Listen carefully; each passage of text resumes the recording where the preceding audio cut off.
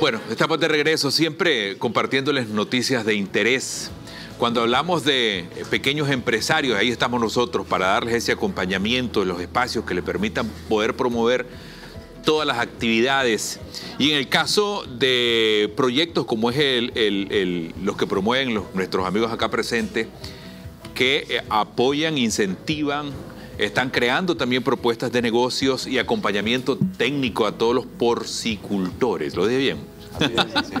Está con nosotros esta mañana Ronald Rojas, que es presidente de Amigos eh, Porcícolas, también Amila Ayala, asesor técnico, Lester Carcache, tesorero, y también Ilcia Pilarte, que es eh, asociada y que nos va a contar un poco la experiencia que está viviendo con este tema. Bueno, las granjas porcícolas, como todo, es también un negocio, si tiene que ver como, como tal, ¿verdad? Y se van a dar cuenta ustedes por qué les digo esta información. Bienvenidos los cuatro, un placer tenerlos por acá con nosotros. Gracias. ¿Cómo nace la idea? Pues, ¿qué les puedo contar? Primeramente, agradecer a Voz TV eh, por la oportunidad que nos ha dado, por ser parte de este proyecto, porque es parte de las empresas que nos están apoyando. Eh, gracias a todos los porcicultores que están dentro de nuestra organización, porque sin ellos es imposible eh, poder alcanzar las metas que estamos alcanzando. Eh, la idea nace hace dos años, básicamente con el doctor Jamil Ayala, por necesidad de, de tres elementos. Falta de organización como un elemento clave a nivel de industria, eh, también a un elemento era la falta de información que nos ayudara a hacer una guía en lo que estábamos alcanzando como productores. Y por último, la necesidad de mejorar aspectos técnicos que en ese momento son debilidades y probablemente, o mejor dicho, 100% una barrera para seguir creciendo. Después compartimos la idea entre los dos, lo compartimos con muchos amigos que teníamos de la industria y lo que creíamos que iba a ser algo pequeño, sencillo, hoy por hoy somos más de 60 porcicultores, somos más, representamos más de mil vientres en el país, que si lo ponemos a nivel de producción estamos casi alcanzando el 20% de la producción nacional. Y hoy eh, más del 90% de las empresas eh, que, que, que son proveedores de esta industria están con nosotros apoyándonos. Bueno, una cosa importante, leía hoy temprano que, y ustedes también me lo compartían, no es lo mismo criar cerdo que cualquiera lo puede hacer, pues, ¿verdad? Que ver la crianza de cerdos con un fin empresarial o de negocio, como es, el, eh, como es su caso. ¿Eso cómo ocurrió?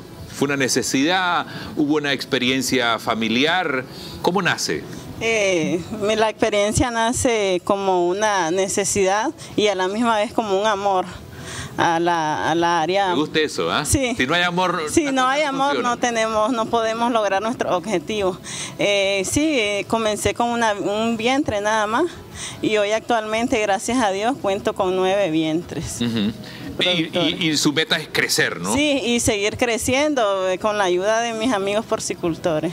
Bueno, es el, acompañamiento técnico también estaba revisando cuando hablamos de que mucha gente dice, hombre, eh, no es negocio lo que estoy haciendo, pero a lo mejor no, revisan cómo estoy criando al cerdo, cómo lo estoy alimentando, en qué condiciones está creciendo, cómo yo garantizo que mi cerda, por ejemplo, estaba leyendo en ese artículo, pueda eh, eh, generarme o, o, parir 30, más de 30 cerdos al año. Aspectos como esos, cuánto me está pesando después de cinco meses que ustedes me daban el dato exacto de cuánto debería pesar, todas esas consideraciones se deben de tener presente para darte cuenta si realmente lo que estás haciendo es negocio o estás perdiendo, pues. No, definitivamente es a donde uno de los grandes ejes que tenemos como gremio y como equipo estamos apuntando. Definitivamente la parte técnica, bien lo decía Ronald en su momento, es muy débil en el país. Entonces, productores, transformándolos en empresarios bajo el tecnicismo, es que van a ser rentables en su momento. Por eso es que Amigos Porcicultores cree que la parte técnica es elemental para poder crecer y para poder aportar un poquito más a la producción de cerdo en Nicaragua. Bueno, la, otra cosa, si hablamos de, que ustedes van a hacer ese acompañamiento, que ya tienen bastante productores o porcicultores agremiados, es que esto siga creciendo, ¿no? Siga forma, eh, siga afianzándose y que ustedes a través de ese acompañamiento puedan lograr que estos empresarios crezcan. Sí, en lo personal y, como grupo, eh, Amigos Porcicultores se ha caracterizado por ser un, grupo de trabajo, ¿verdad?, que, que cobija a los pequeños porcicultores, así como Ilcia, que inició desde un vientre. Anteriormente, pues no, teníamos ese acompañamiento. Hoy en día, eh, Amigos Porcicultores hace la diferencia con respecto a esto, ¿verdad?, que le damos, le damos ese, ese, ese plus al, porcicultor o esa herramienta para que él pueda salir adelante, mañana más tarde poder tener 5 o 10 vientres. Eh, eso es lo que nos caracteriza como, grupo.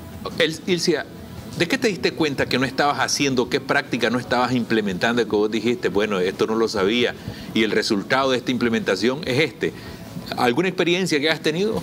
Eh, sí, a mi comienzo yo tenía poca experiencia, pero este, con estas nuevas charlas, con la experiencia en los grupos, las pláticas, he, sentido que he mejorado eh, grandemente en el manejo de mi gran. Ha sido de mucha utilidad. ¿Qué tanta importancia, por ejemplo, la alimentación? Yo me estaba fijando ahora que decían también las condiciones en las que esté el cerdo, por ejemplo, o la cerda, o, la que si es higiénico o no, qué tipo de agua está consumiendo, cómo se está alimentando. Detalles que esos que muchas veces las personas no se percatan. Me imagino que eso lo has revisado.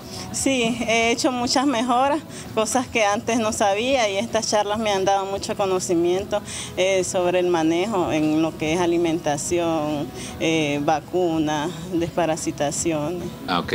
¿Tienen una jornada técnica próximamente? Sí. ¿O permanente? ¿Cómo funciona? Ok. Ahorita casualmente creo que lo estamos viendo en pantalla. Eh, la primera jornada técnica la lanzamos en septiembre de este año.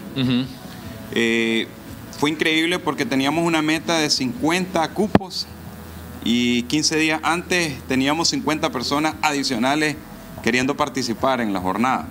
Eh, hoy nos pusimos una nueva meta, 120, 120 participantes.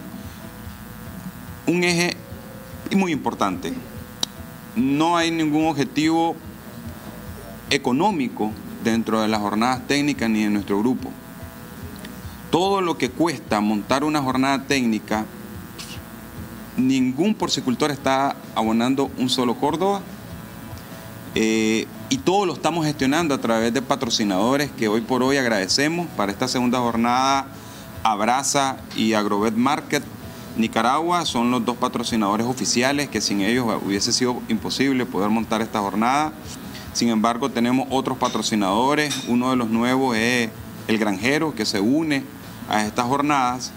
Y básicamente cerramos el año con una segunda jornada que duplica lo que logramos en la primera, triplica lo que logramos en patrocinadores en la primera y nos ha permitido ampliar en más de 20 porcicultores que ya están en este grupo, que comparten nuestra visión, que comparten nuestros valores y que creen que este proyecto realmente va a aportarles a mejorar dos ejes principales, la parte de productividad y la educación continua a través de programas como las jornadas por cine. Yo les decía, y, tal vez una, una posición muy personal, que deberían de incluir tal vez...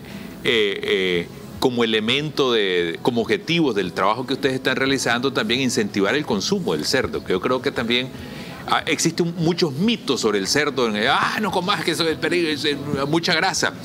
Pero últimamente los nutricionistas y nutriólogos están recomendando el cerdo, que, que, bueno, que no, es, no hay que satanizarlo, pues como, como hasta hace algunos años se estaba haciendo. Eh, recordemos que Nicaragua también viene, viene eh, se vienen suscitando eventos del pasado que lastimosamente han afectado el tema del consumo de cerdo. Claro. Una peste porcina, después todas unas situaciones que eh, mermaron grandemente el consumo de cerdo en el país. Hoy por hoy, parte del tecnicismo que estamos agregando es la culturización de consumo de carne de cerdo nacional y por ende eh, mitigando todos aquellos mitos, eh, que comer carne de cerdo es malo, que te afecta el colesterol, eh, de hecho, hoy por hoy ya se conoce que entre la carne de cerdo y la carne de pollo hay grandes diferencias en cuanto a las afectaciones orgánicas del ser humano. Y el valor nutricional. El valor nutricional, la capacidad de digestión de las grasas es muy diferente y es mucho más noble la del cerdo que la de otras especies. Sin embargo, eh, lastimosamente vivimos en una sociedad que se mueve o se maneja por la cultura de nuestros padres en pero, este caso. Pero te voy a decir una cosa, pues eso se radica con, con el tema de conocimiento. Pues en la medida que ustedes puedan compartir información de calidad como la que me estás explicando, la gente va a ir abriendo un poco más eh, eh, hacia el consumo de este, del cerdo. Sí. Yo quisiera finalizar. Por favor. Eh, dando las gracias nuevamente. para nosotros es un privilegio tener un asesor técnico como Jamil e invitamos a, a otros eh, médicos veterinarios que quieran ser parte de este proyecto, son bienvenidos. Eh, ¿Cómo los encuentran en redes sociales? ¿Tienen Amigos y productores porcícolas de Nicaragua, en Facebook, eh, y ahí van a informarse sobre todo lo que estamos haciendo. Casualmente este fin de semana vamos a estar haciendo unas rifas para cupos y participar en la segunda jornada técnica. Si sos productor, escríbanos y puede totalmente gratis participar en la segunda jornada. Así como Ilcia, bienvenido cualquier productor, no importa si es un vientre, dos vientres. Eh, lo importante es que comparta valores y visión que, compartimos nosotros como grupo. Eh, y para finalizar, sí, el año que viene, tres, mínimo tres jornadas porcinas, un, un programa de consumo de carne de cerdo, una alianza con dos universidades que ya estamos por firmar convenios para la escuela técnica y asegurar el doble de productores que hoy tenemos como asociados. Excelente, muchas gracias. Eso se va a traducir o sea, como más generación de empleo, de posibilidad como el caso suyo que muchas más mujeres puedan emprender, ¿por qué no, verdad? Gracias nuevamente a los cuatro por acompañarnos esta mañana. Nosotros nos separamos un instante ya venimos.